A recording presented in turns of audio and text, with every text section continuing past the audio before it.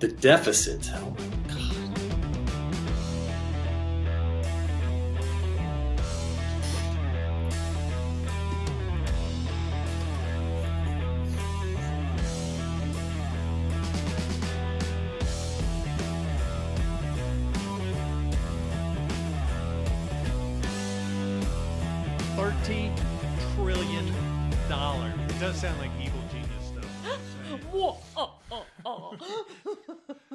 Hell's a trillion dollars? Do you know how many zeros are in a trillion?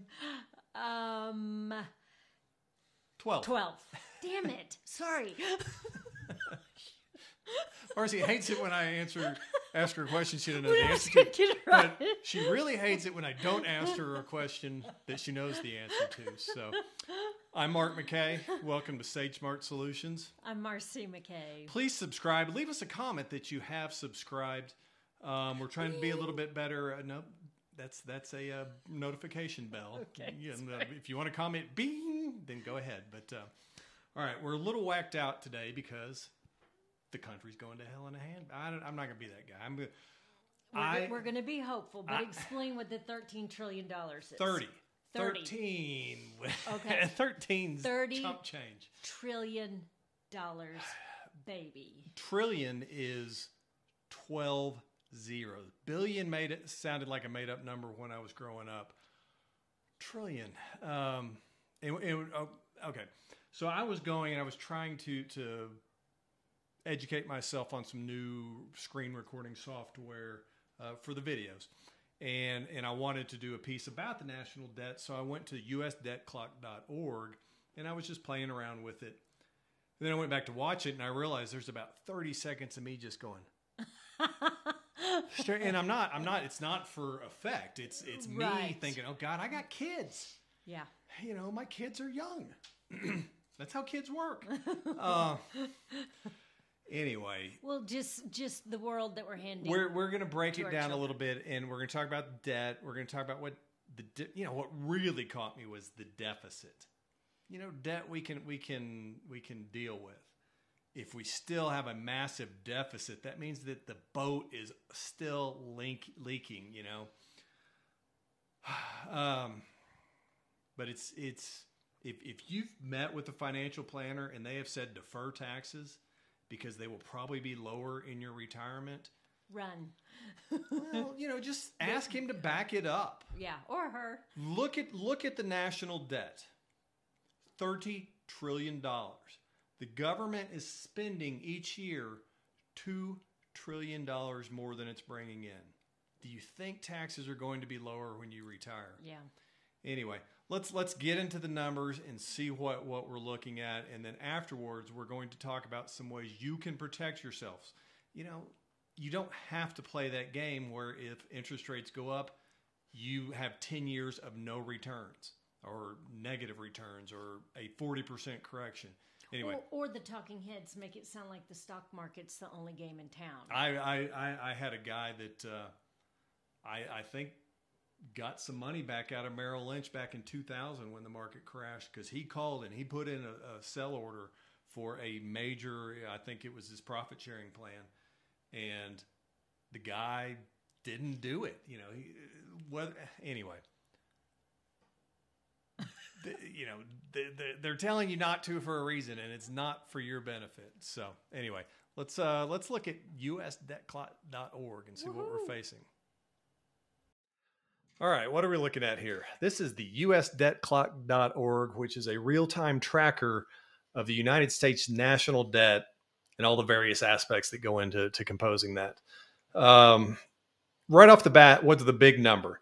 The the total national debt. That is how much our country owes. 30 and a half trillion dollars. And, and you see how quickly it's it's moving up. And and it, it's a terrifying number. I remember when it first hit a trillion dollars, everybody was freaking out, and then it just kept going, and we just kept spending and spending and spending, and now here we are. So I, I was actually going to the screen to practice some screen recording with some new software, and I wanted to see what it looked like. And and when I went back, I realized that you know it's it's it's even worse than I thought. And I knew it was bad.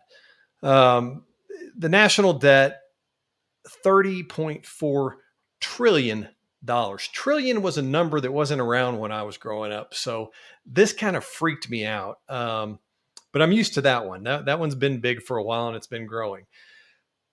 The one thing that I've tried to keep an eye on is is this number here. This is the federal debt to GDP ratio, and and what that is is people who who you know maybe had a, a conflict of interest or a bias or whatever, but they they felt like it was okay for us to have massive debt and massive deficits are called those people are called deficit doves. Deficit hawk would want the balance to be budget, the budget to be balanced every year, that sort of thing, or as close as possible. But deficit doves would say, oh no, deficits and, and debt are good for this country because we're growing. So we want to leverage it and we want to get that growth. But the amount we owe is $30.4 trillion. The GDP for this country, I'll have to move that, is $24 trillion. So this is not sustainable. In, in, in the year 2000, after all the tech boom, the debt to GDP ratio in this country was 58%. It's now double that. The ratio is double that. So this is something to be very concerned about. I, anyway, the other number that floored me, and, and there's, you know, the video of me kind of just massaging my face for about 30 seconds, um, looking terrified is this one the US federal budget deficit. I knew it was bad. I knew it's been bad. I didn't realize that we were almost at two and a quarter trillion dollars for the deficit. Why does that sound so? You know, it sounds a lot like the debt, but but the deficit, that's the hole we're digging.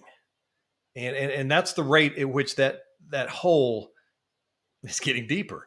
So you know, there have been years, and it's been a while, but you know, where that budget deficit was zero. There's been years where it's been positive. We've had a surplus. But two trillion dollars, that means, you know, basically the government, you know, these rocket scientists that we're sending to Washington are spending $6.3 trillion. You know, that, that, what does that mean? Well, the, the, the problem with that number is that we only raise $4.1 trillion. So that creates a shortfall each year of $2.14 trillion. Now, these are projections, and I, and I guess what? When the government accounting office comes out with projections, which side do you think they err on? Do you think they underpromise and overdeliver? It's the government, people. So why do I care about this? One, inflation. We've talked about this recently. Everybody's talked about it recently. We're at about an eight and a half percent uh, rate of inflation in this country right now. What tool does the Fed have to combat combat inflation? Interest rates. Well, what does inter- what do interest rates affect? Debt. Look at this number here. If you owed 30.4 trillion dollars and you control the interest rate, you know, are you going to, you know, they're coming out and they're saying they're going to raise it six times for about a point and a half bump over the next um, year and a half.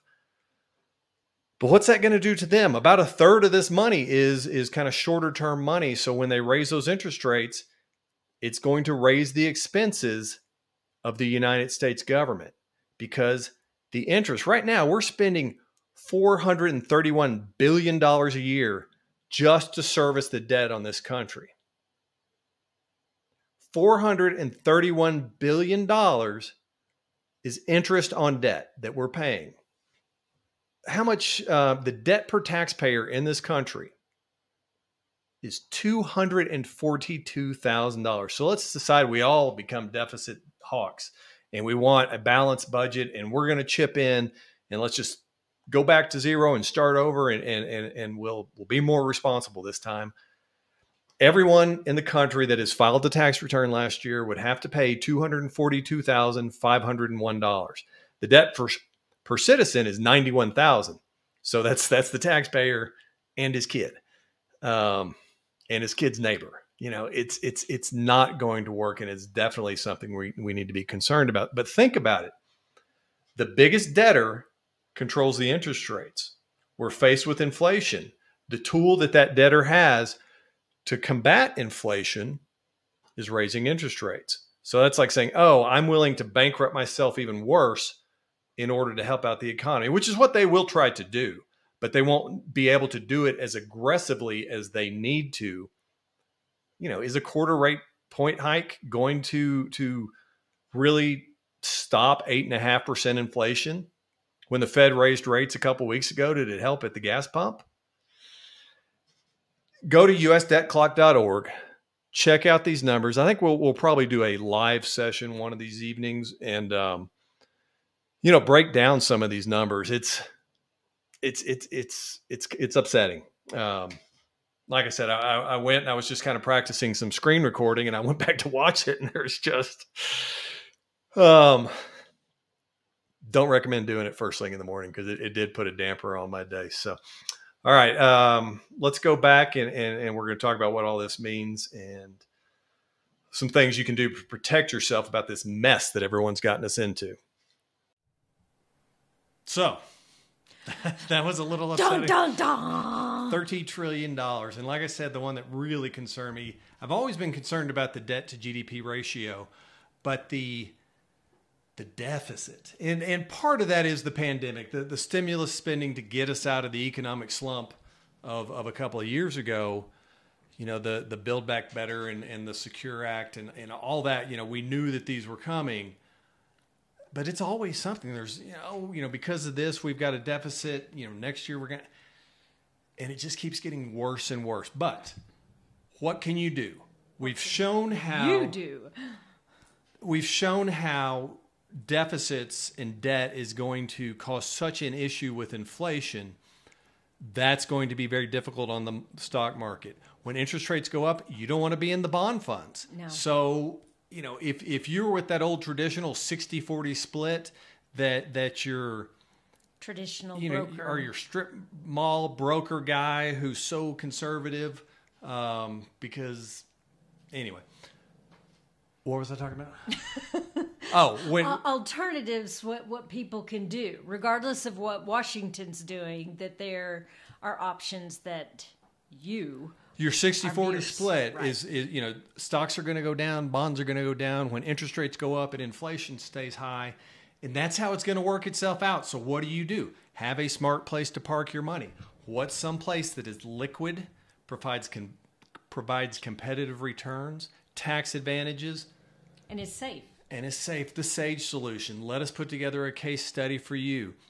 Use the power of a secure asset and tier one arbitrage to produce solid returns and have complete liquidity. So, if two years from now, let's say the market does go down 50%, maybe it's time to put a quarter of your portfolio back in there. Oh, we've got it over here in this liquid asset Right. that we don't have to worry about whether it's a good time to sell it. We don't have to worry about what it's going to do to our taxes if, if we access some of that capital. You know, we might even be able to access and get a tax deduction for, you know, there are, there are different ways to do this, but it's not the way you're hearing from your Dewey Lynchman Howe broker. You know, you, you need to educate yourself and, and, and think outside the box because there is definitely more than, than one option out there that the majority of us are hearing about that's being pushed. Well, we're, you know, real estate's going to be affected by rising interest rates. Crypto is showing a correlation to to the the broader equity markets. Twitter's not going to be a stock anymore. Um, I don't know. What Well, and, and speaking of stocks, the stock market's terrifying. I mean, do you really want to gamble with Yeah, your yeah. family's financial future? yeah, the, the the people you know with the high frequency trading know these numbers. Right. They know what we're looking at, so they're playing it. And so when you see this extreme volatility, Yeah. is that a place for your secure retirement assets? I don't care what the talking heads, you know, you can go out and get an 8 to 12% on the average equity. No. You can't. You, you might get lucky and do it, but you said the same thing in 1999 that you get 18%. Right. I, I anyway, you know who I'm talking about. so let's um, let's let's let's protect your assets. Let's set up a strategy session so we can help you retire tax free, but most importantly, not let you just take a 40% haircut. You know, you're going to take a 40% haircut when the market crashes. You're going to take a 40% haircut when you realize that all of your assets are in tax deferred buckets and Congress raises taxes to 40%. Um, could that happen? Yes, it's happened all the time. You know, it's it's happened in the past many times. We are at historically low tax rates right now. Read the room. Anyway, have a great week. Um, please subscribe. Like I said, leave a comment in the in the comment section, which is where comments go when you leave them. You say, Mark, You are like on Keep swinging. I- today. you know, when- when- when I So saw that- set up a strategy session. You can tell Mark is very knowledgeable and very passionate about this subject and helping people. and it's super simple. We'll do a Yeah. 30 minute Zoom call or phone call, FaceTime, whatever works most easily for you. no hard press sell. if if you say, you know what, I want to do this and that, and I say, I can't do that, or leave your money alone, you're okay. Yeah. But if if I say, you know what, let's look at doing a strategy where we can move this money and get it producing some tax free income. Whereas if we move twenty thousand dollars now, we know that in retirement that's going to provide you forty thousand dollars a year in tax free income if we do it correctly. Let us put together a case design for you. So, like I said, we have a 15 minute, 30 minute phone call, get a little bit of information, see what will work, see if we're a fit, and then we'll schedule, you know, usually a week to two weeks later for a let's sit down, let's put together a plan, we'll show it to you, and then we'll tweak it, we'll flex it, we'll make it work for you. Protect your assets and retire tax free. Hit the subscribe button. Please, I've really lost the ability to talk right now. So, I'm gonna go have a coffee. Thanks.